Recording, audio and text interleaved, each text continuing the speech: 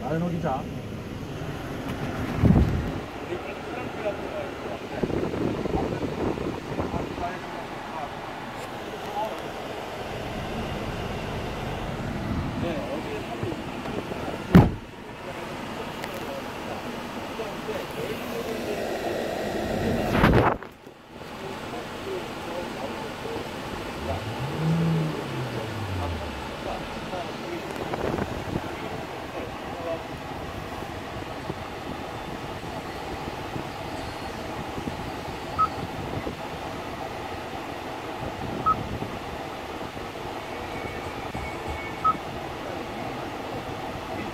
만근한 우리 근로자분들한테 주휴수당을 지급 안 하셨고요. 예 예. 일단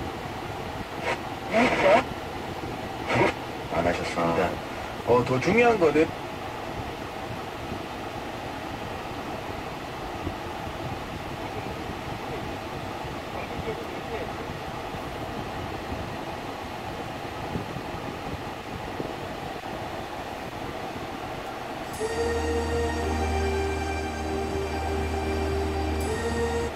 하고 끝나는 분들 있잖아요. 그렇죠. 그런데도 주유수당이나 연차가 있습니까? 네, 아까 제가 그 초반에 말씀드렸다시피 예, 예. 일용직처럼 정말 하루 끝나고 하루 그 다음에 저 뭐 한 일주일 지나고 나서 또 하루 오시는 분들은 정확하게 일용직 근로자죠. 근데 일용직 계약 체결하고 그냥 계속 일을 하는 겁니다. 음. 예, 우리 그냥 일반적으로 회사 다니시는 분처럼 그냥 상용 근로자라고 하죠. 아, 그냥 상용 근로자분들처럼 급여 계산만 일당으로 계산된 급여를 받는다 뿐이지 음. 일하는 거는 그냥 오늘 나오시고 내일 또 나오시고 계속 나오신단 말이에요. 예 예. 그렇게 되면 우리는 실질을 따져서 일주 만근하면 주휴수당 주셔야 되고 아, 또월 만근하면 연차 휴가가 발생하고 예. 물론 일